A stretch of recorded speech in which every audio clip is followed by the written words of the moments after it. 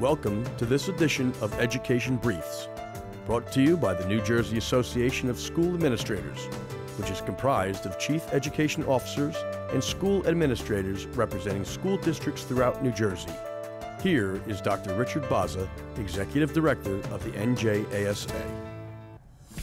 What's on the horizon for New Jersey's public schools this year?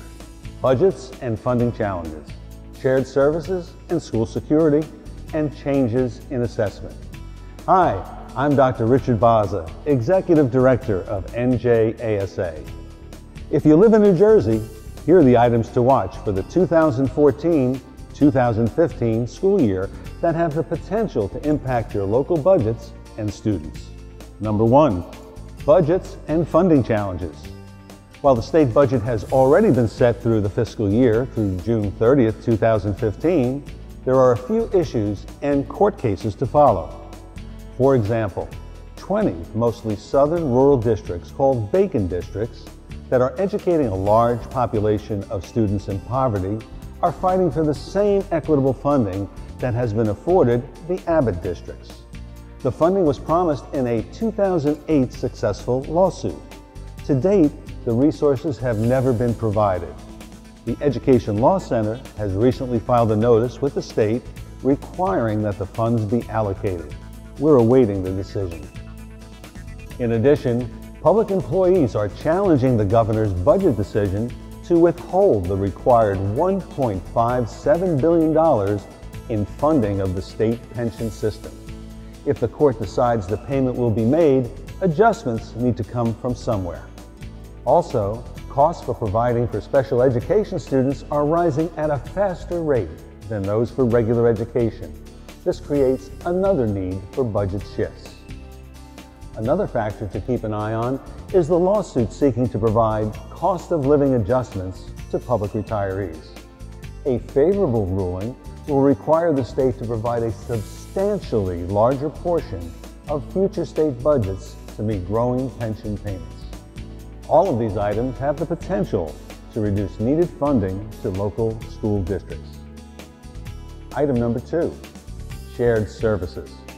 A cost-saving trend in publicly funded services, such as police forces and schools, is to examine ways to save money by sharing services. For example, Hunterdon County has just merged four like-minded school districts. Other districts share purchase acquisitions on supplies, equipment, and much more. Many opportunities do exist, and each situation is unique. Number three, school security. While many schools are more secure than ever before, school leaders are vigilant in their unwavering dedication to providing student safety and security. There are ongoing conversations about whether armed guards belong in schools and other ways to protect our students. Finally, item number four, the impact of changes in student assessment. Governor Christie has decided to phase in the impact on teacher and principal evaluations of the new online testing called PARCC, the Partnership for Assessment of Readiness for College and Careers. That's a prudent move as it will be the first year that all students take the assessment.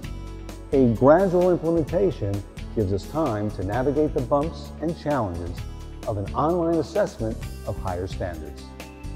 Over time, we'll also have to examine how the PARCC assessments will impact graduation requirements. New Jersey's chief education officers are working hard to confront these challenges and others always with the goal of the best interest of our students. Stay tuned, watch for developments on our Facebook page, and read our blog on njasa.net. Until next time, thanks for watching. New Jersey's Chief Education Officers, moving education forward. To learn more about New Jersey's Chief Education Officers, visit us at the web at njasa.net.